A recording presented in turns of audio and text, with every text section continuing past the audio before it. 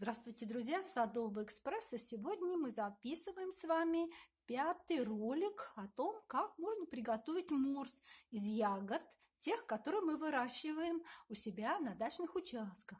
Конечно, можно и нужно купить а, клюкву, бруснику, но это сейчас трудно и дорого. А вот ягоды, которые мы вырастили на участке, надо не забывать, они у нас заморожены.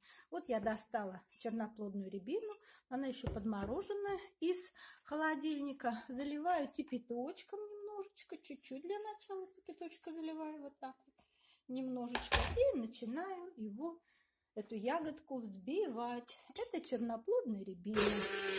Рябина это кладезь витаминов всяких, минералов и очень полезная ягода. Ее на участке у нас очень много. Посмотрите, какая прекрасная масса.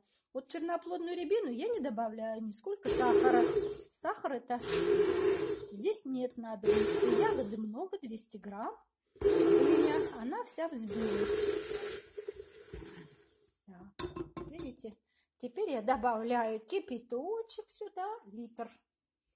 Где-то литр на 200 граммов ягод и литр кипяточка. Вот так побольше наливаю. Ягоды у меня много. Еще разочек, еще разочек я ее Если для вас это сладкая эта ягода, то можно положить маленький кусочек лимона сюда. Ну, а в целом, конечно, она не так сладкая, это натуральная сладость. Вот морс готов. Кипяченой водой разбавляю. Я не кипячу ягоду. Ягода у меня чистая.